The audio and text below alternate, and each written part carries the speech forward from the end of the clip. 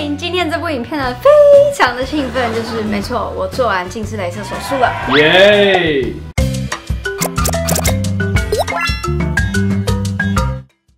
今天这部影片呢会非常的长，也会比较细，因为毕竟是近视雷射的部分，所以我这支影片呢会把我术后的恢复过程以及手术的过程完整的呈现在这部影片。没错，那我在去年的时候其实就已经跟大学眼科已经检查完要手术喽，结果我就怀孕了。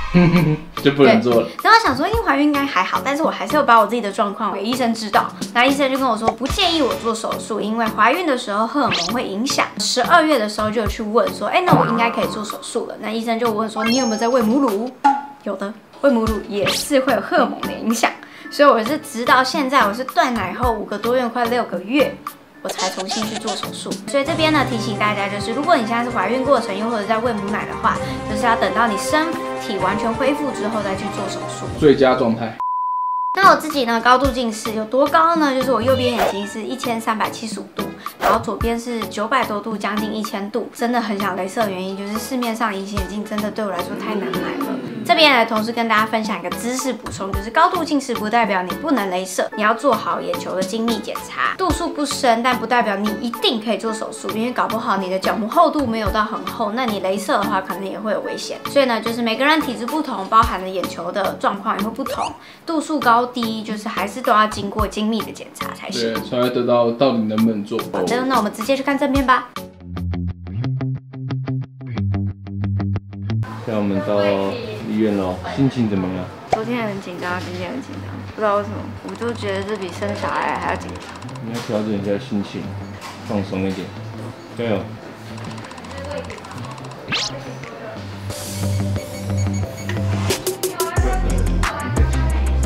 时候可能过度紧张或者是太累的时候，就会有一些假性近视的可能性。有点过度清楚，之我要对焦。过度清楚是可能戴你的眼镜原本没有这么清楚哦。对，而且你原本是零点四、零点九。嗯。对，那再来我因为我们现我现在两点钟是帮你矫正到一点零，但是最重要的是我们现在我不是在帮你配眼镜。哦，这个就是你做完镭射手术后基本思路，所以你之后就是要好好保保养你的眼睛。嗯，你应该很久没有这么清楚了，很久没有。而且你隐形眼镜是戴几度？九百度。哦，那都不对啊。原来我的世界本该长这样。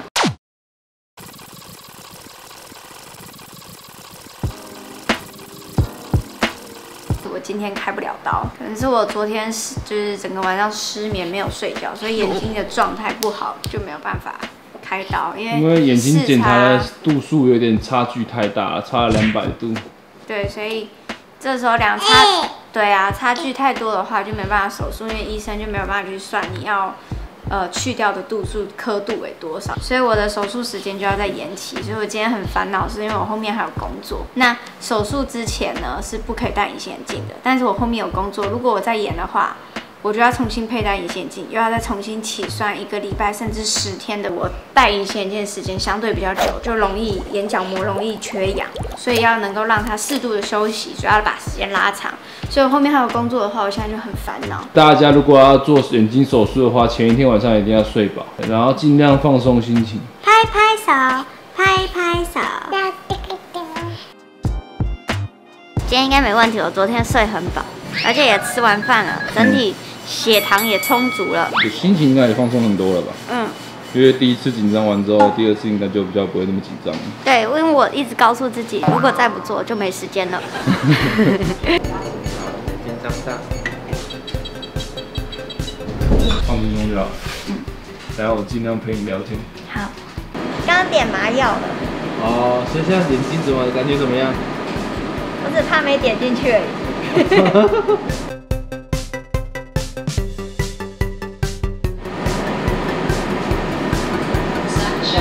感觉怎么样？还蛮酷的。冰冰凉凉的。嗯，没什么感觉。没什么感觉。我只怕我眼睛合起来了。是啊，会有声音，会有点烧焦的味道，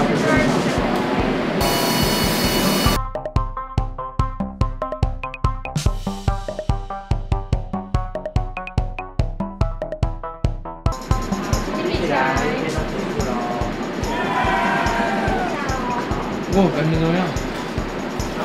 你看到我吗？看得到东西吧？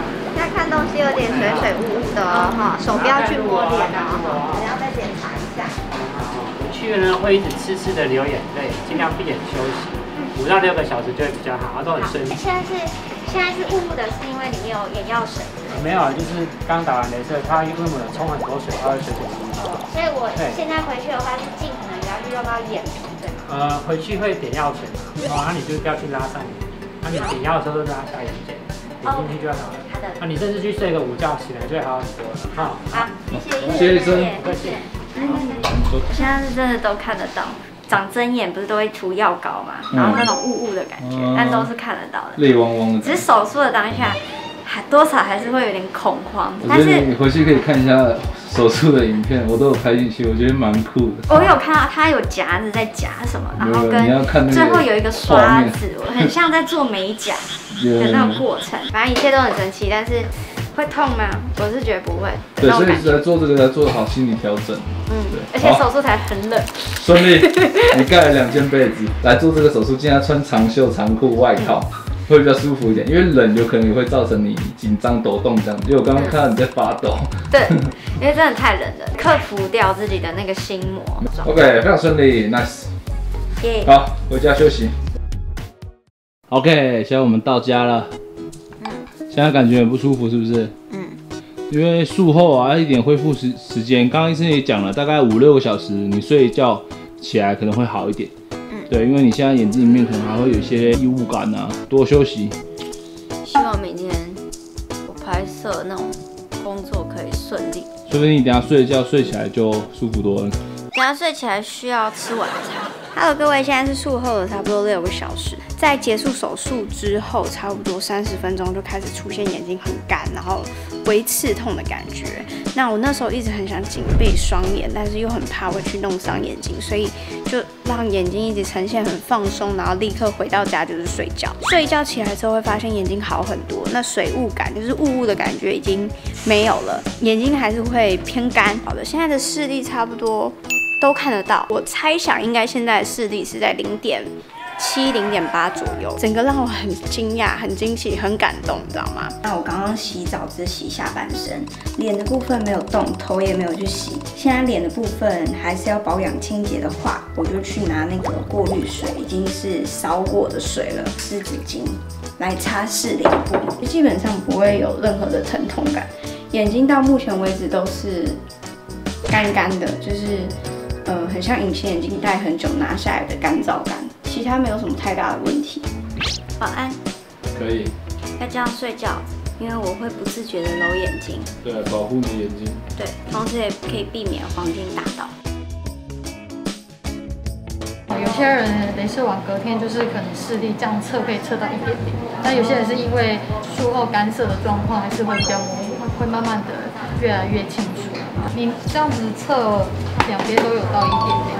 只是还是会有点模糊，对对对，那是正常的，不用太担心。所以之后会慢慢会慢慢的恢复，对。现在那个眼睛会很干，所以我等会开人工泪液给你。人工泪水就每一个小时点一次，嗯，你要半个小时点一次也没有关系。好，消炎要维持一天四次就好。好。好，点了人工泪水以后，视力就会比较清楚一点。不过最近会比较不稳定，就是有时候清楚，有时候模糊。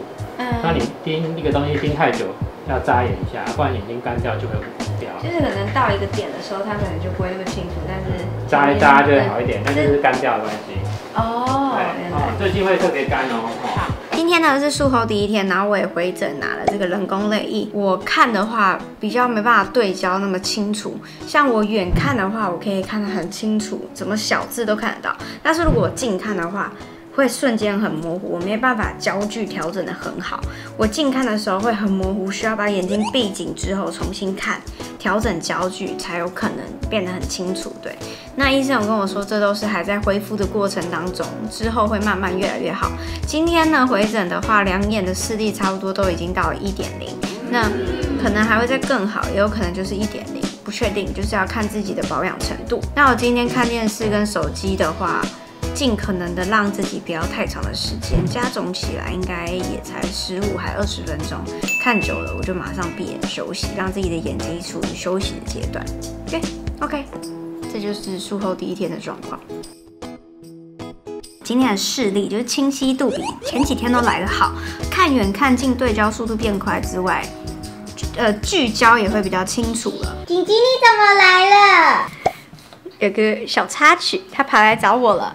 今天开始，我真的觉得我的眼睛蛮干的。对我已经很勤点人工泪液了，还是很干。那这种干的情形都是在我可能看了手机、看电视跟看电脑，但是我这个时间加总起来，就是我每看五分钟的手机，我就会闭上眼睛休息十到十五分钟，但还是略干。所以我的人工泪液蛮勤着点的。那网络上呢，我有看很多人回馈是说眼睛真的会偏干，对。我感同身受。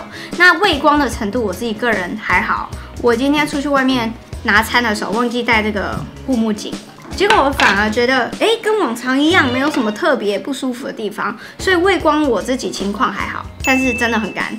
对，这是我今天第三天的感受。嗯呃，这是什么方面？好，视力都很好了哈。那请问就是是可以，一定是可以上妆？可以上妆，但是你可能睫毛膏或眼线稍微小心点，不要戳到眼。好，好，那我知道，谢谢。不会，下周再回诊。好，谢谢。谢谢。耶，完成了。很明显，我换个衣服来录结尾。没错。现在是我手术的十四天左右，两周，两周左右。那干的话，其实医生都有给我们人工泪液，所以不会到让我觉得超级不舒服，或者是眼睛干到刺痛的感觉都没有。所以我自己的保养方式是手术回来之后马上进入睡眠，对，让眼睛充分的休息。那呃，手术的那一个礼拜，我也很少在使用手机跟电脑，还有看电视。当然，如果我有用的话，会尽可能让自己。可能看了十分钟的手机，十分钟的电视，就去休息。我觉得每个人术后的状况都会不同，但是如果你有好好的保养，跟告诉自己，就是你你知道有一个告诉自己说啊，我现在差不多要让眼睛休息的话，你就会自然的恢复会比较好。目前为止，如果说值得的话，我觉得值得这两个字需要长时间来观察。但现在我术后的两个多礼拜，我觉得我是满意的。现在是一打开眼睛，虽然干涩，但是我看得到，就会觉得很。好，以上呢就是我镭射过后的心得以及手术的过程分享给你们。如果你对于手术呃一直很有兴趣，然后想要了解的话，希望这支影片呢能够给你有一个参考的方向。OK，那我们下一支影片见，拜拜拜拜。